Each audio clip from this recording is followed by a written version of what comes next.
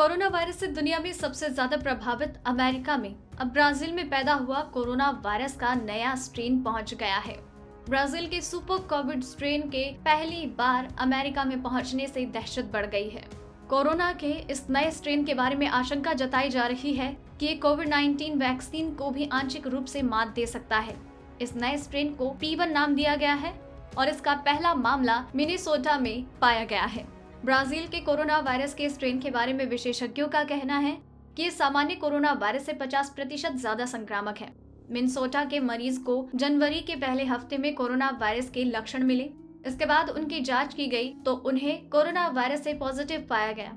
उन्होंने बताया कि हाल ही में वो ब्राज़ील गए थे और उन्हें खुद को अलग थलग रखने के लिए कहा गया है।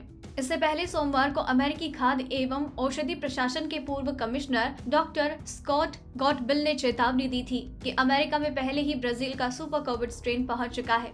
उन्होंने सीबीएस न्यूज़ चैनल से बातचीत में कहा, दक्षिण अफ्रीकी और ब्राज़ील के स्ट्रेन यहाँ मौजूद हैं।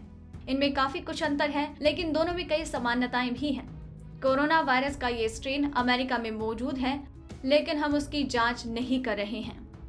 अगर आपको ये रिपोर्ट पसंद आई तो इसे लाइक और शेयर करें। साथ ही अपने व्यूज़ हमें कमेंट करके ज़रूर बताएँ। सब्सक्राइब करें हमारा चैनल ऐसी ही लेटेस्ट और इंटरेस्टिंग न्यूज़ के लिए।